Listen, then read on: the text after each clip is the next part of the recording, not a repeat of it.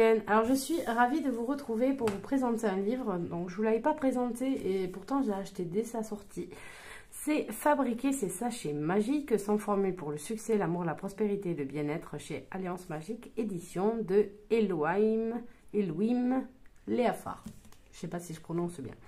Alors je tiens vraiment à vous présenter cette revue avant parce que euh, il va y avoir euh, quelques vidéos qui vont faire écho dans ce calendrier à euh, ce euh, livre, Fabriquer ses sachets magiques. Alors on nous dit, euh, créez votre propre magie. Les sachets magiques, également appelés sacs de charme, gris-gris ou encore sachets à mojo, sont peut-être les amulettes ou talismans les plus populaires au monde. Partout sur le globe, nombreuses sont les cultures et traditions spirituelles à intégrer leur confection et ce à des fins très diverses.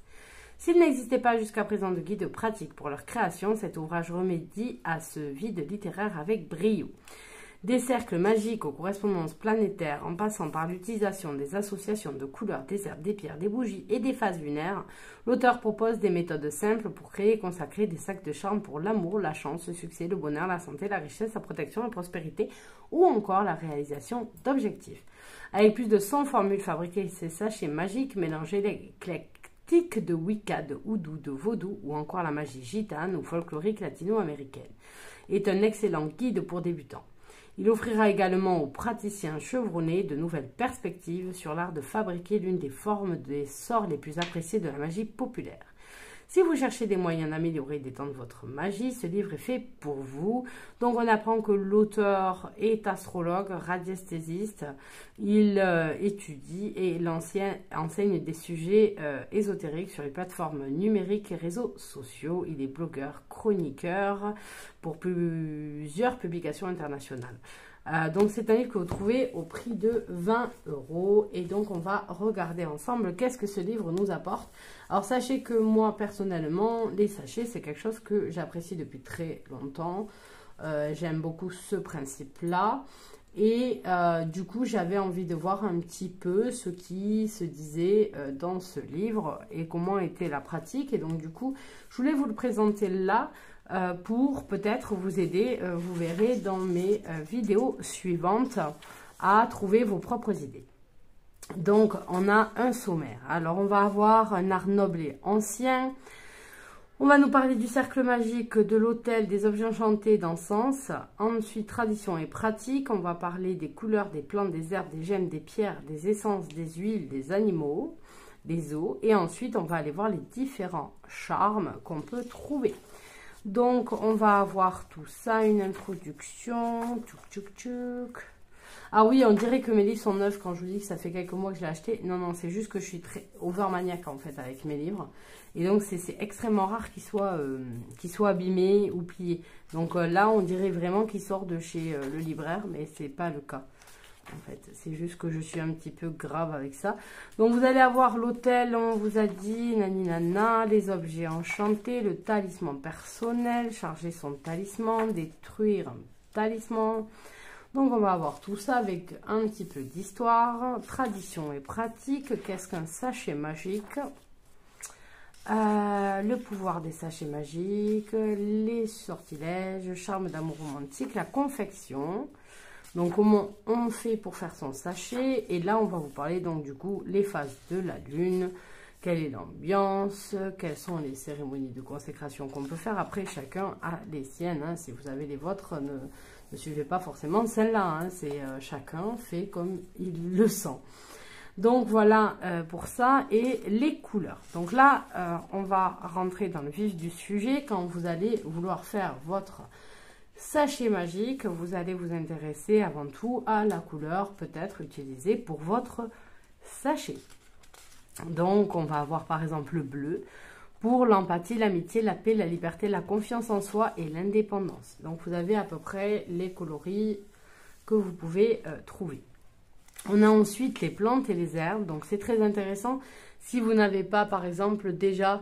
Euh, le grand livre des correspondances, par exemple, vous avez quand même pas mal de choses euh, ici euh, pour arriver à trouver, euh, à trouver de quoi mettre dans vos sachets en ayant le, le, le, bon...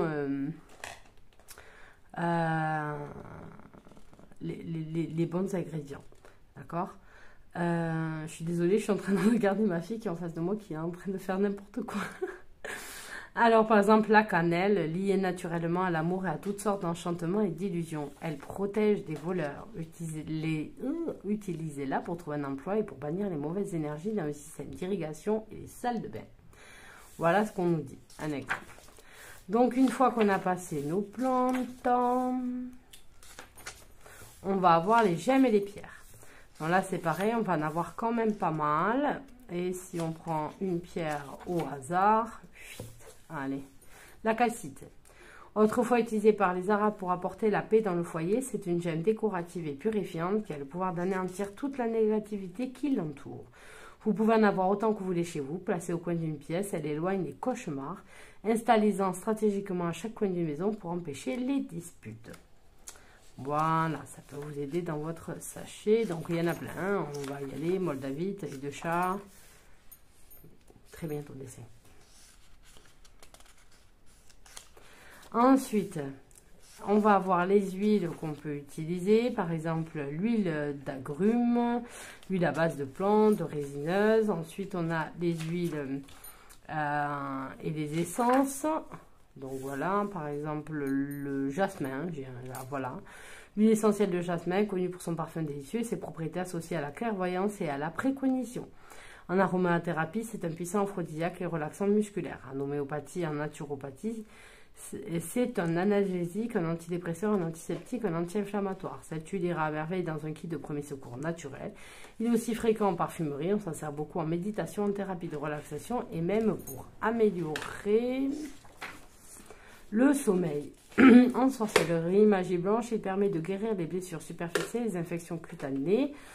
Euh, il est tout indiqué pour consacrer des sachets magiques dédiés à la relaxation à la paix intérieure ou pour provoquer des rêves prémonitoires.